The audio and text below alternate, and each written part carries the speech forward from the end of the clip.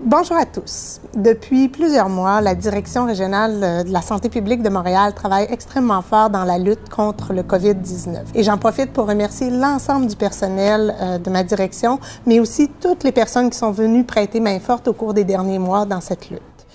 Mais la lutte à la pandémie, c'est un exemple d'un dossier ou d'un sujet sur lequel nous travaillons euh, activement.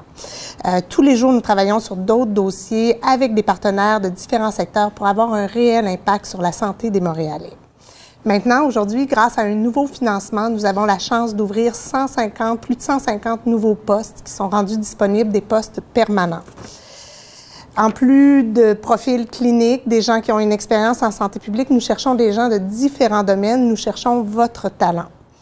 Nous offrons un milieu de travail euh, stimulant, engagé, euh, un milieu de travail qui est branché sur le milieu universitaire, qui offre des horaires flexibles et même la possibilité de faire du télétravail.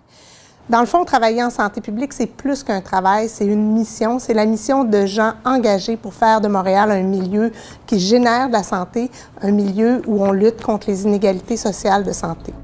Donc, je vous invite à venir travailler avec nous, consulter l'éventail de postes disponibles sur notre portail. Merci.